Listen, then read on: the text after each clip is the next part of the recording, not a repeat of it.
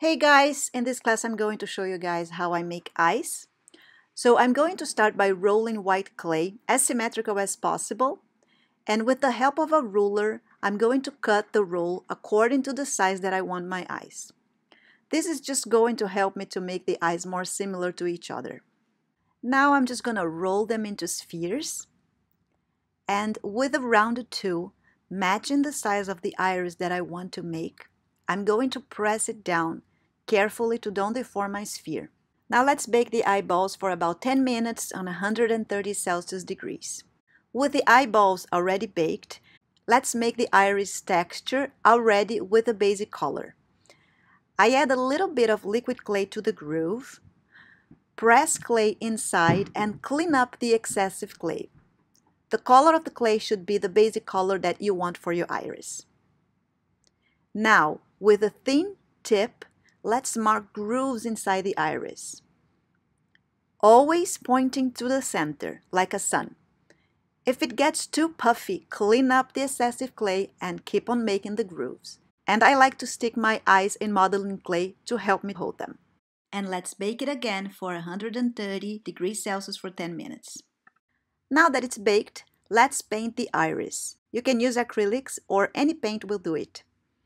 Get creative with the colors. You can make the clay darker and paint with a lighter color after, or you can do a lighter clay and paint with a darker color after as well. Experiment with it, it's fun. If you use a darker clay and want to paint lighter, use a thicker paint and avoid to paint inside the grooves and on the edges.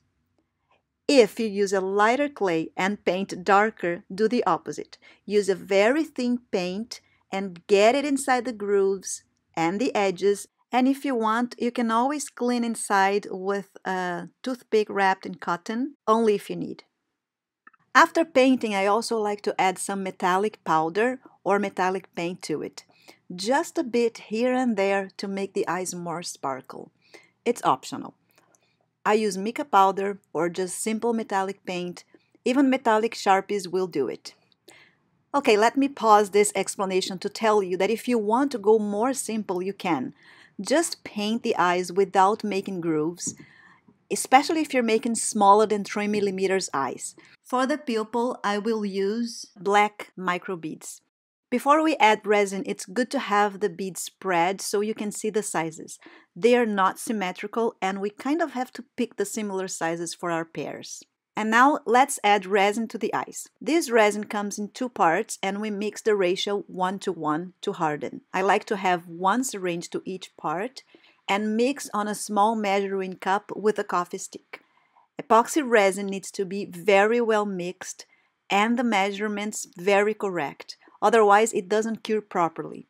Once it's mixed, I just add a little to the iris, place the pupil, and then add some more resin until it pops up a little bit out of the cavity. And that's it, the eyes are ready. I hope you guys enjoy this video and if you think that making eyes is too much work or if you can't get it right, don't worry. I have a few eyes available on my store and soon I'm coming with other sizes as well so stay tuned. Thanks for watching. Bye bye.